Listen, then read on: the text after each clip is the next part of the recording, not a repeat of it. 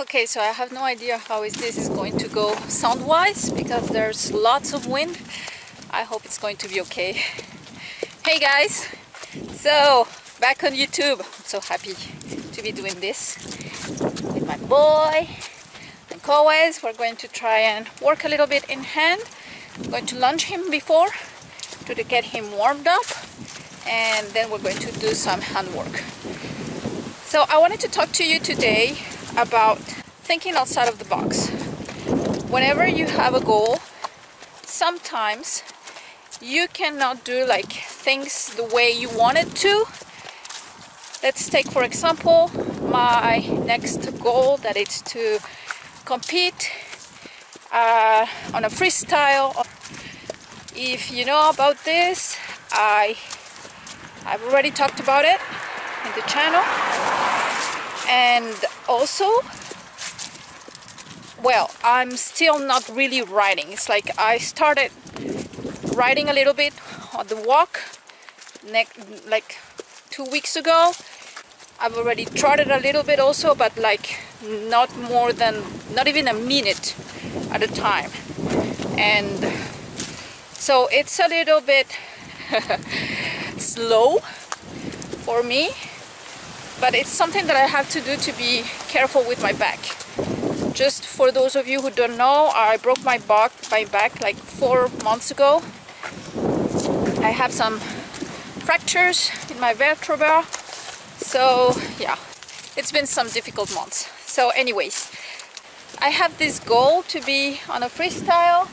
So I, I asked myself what is it that I have to have to be able to attain the goal so of course there's the freestyle and everything but there's also this guy it's like he has to be ready for it and he has to be trained for it. So the thing is that I cannot ride him I cannot train him. My husband is doing such an excellent job in riding him and trying to keep him like in a good condition physical condition but still it's like he's been doing lots of back work so riding him low round and low.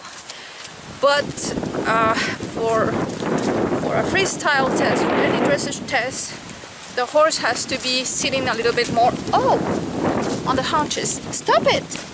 No you're not eating. You're not eating. We're walking. And so yeah he has to be a little bit more on the haunches so I asked myself how can I do this? And the thing was that of course I could like find someone to ride him and pay this person like a professional. And I thought yeah that's maybe a good idea. So I decided to combine the pleasure and the work. And we went with my husband. We went on vacations to the region of Bordeaux here in France. And one of our friends like it's one of my very good friends and it was his jumping coach. He has moved over there. He moved like four months ago five months ago over there. And so I told myself well let's bring let's bring Topo with us on vacations. That way I can still be with him because I really miss him when I'm away.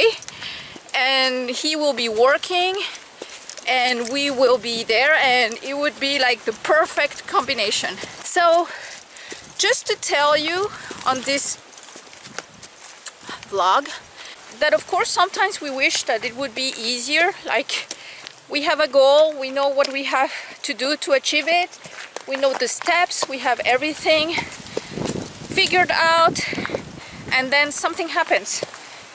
So it's not because it's become a little bit more difficult that you should stop everything altogether and that you should change what you wanted to do. No, I think that it's just an opportunity for you to get the brain working and ask yourself, okay, so what can I do to continue getting nearer my goal even if I cannot do like the simple and the easy way. So yeah. Think outside of the box. Try and find solutions.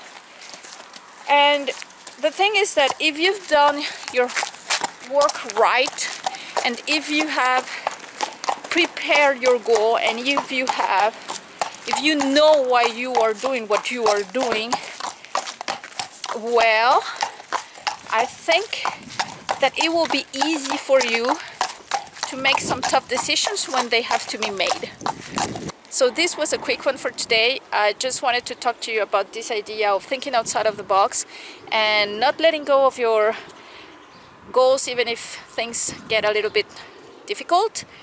And yeah, I will be seeing you next video. Bye! Say bye, baby. Bye!